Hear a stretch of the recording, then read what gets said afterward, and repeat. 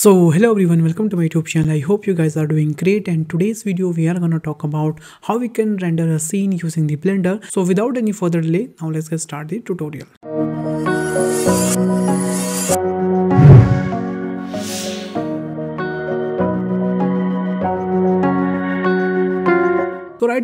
screen you can see guys we have a little bit scene here where we have a place some product bottles and with their packaging basically. That look awesome.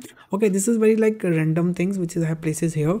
But for rendering a scene we need some major things like we need a camera we need a lights and we are gonna added those things first. Then we'll switch into our rendering mode and we'll see how it's look like by the way. So first one i'm just gonna add one camera here. So for adding the camera i'm just gonna like place my 3d cursor into here basically so we can easily see uh, where our camera is exactly placed then i'm gonna press the shift a and i'm just gonna uh, like uh, going to my add menu. And here i'm just gonna add one camera. Here you can see this is a camera. And going into the camera view we have to just press the zero. So here you can see this is our camera view basically. So first of all what i'm gonna do i'm just gonna lock my camera from here. And now we can easily like uh, move. Sorry i'm just gonna unlock my camera from here.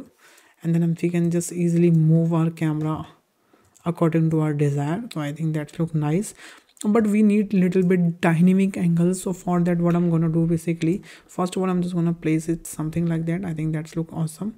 And gonna little bit like zoom. I think this look nice. Yeah this is awesome. Okay after that what i'm gonna do i'm just gonna like lock again my camera.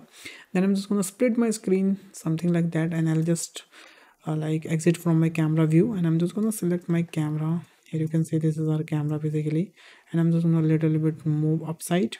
And then i'm just gonna like rotate it into the like uh, I'm gonna rotate it something like that. I think that much rotation is look nice. And i'm just gonna place it something like that. And now here you can see this is look more what we can say dynamic basically. And that's look awesome. Here you can see here we go. That's look nice. Right now this camera angle i'm gonna like uh, keep it.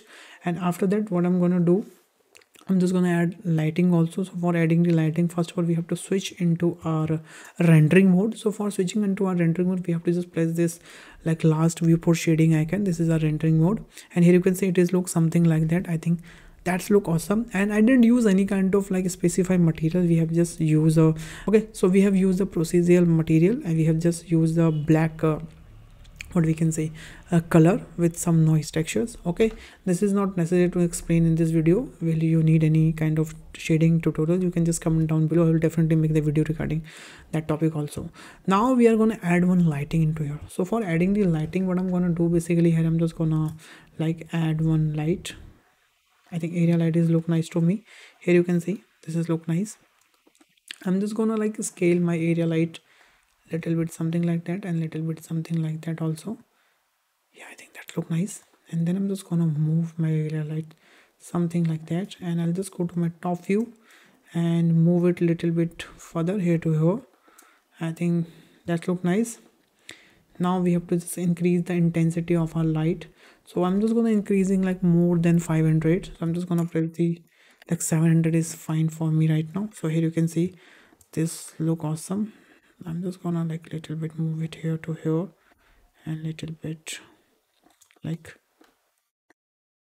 other. Yeah look nice here you can see how cool it is by the way. And we can just move our camera a little bit also because we need a more product. We don't need any negative space into our scene. Yeah looking nice. Going to move. That's look awesome by the way. Okay. That's look awesome looking perfect. All right after that i'm just gonna add one more light here. So for that i'm just gonna add a like one more area light. Okay. Looking awesome perfect so alright guys here you can see we have set the lighting and we have set the camera angle also. This is look nice by the way. And this is the final output. Now the thing is that how we can render all those things.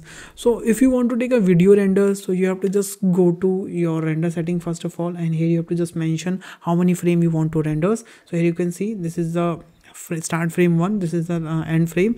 And for that you have to add little bit animation into your scene. Then you can uh, do the like uh, video renders and uh, from here there are some settings. From here you can just use you need a frame by frame animation you need a video basically. If you need a video renders so you, you have to just select this fm uh, video. If you need a frame by frame so you have to just keep it rgba and a stand for basically alpha.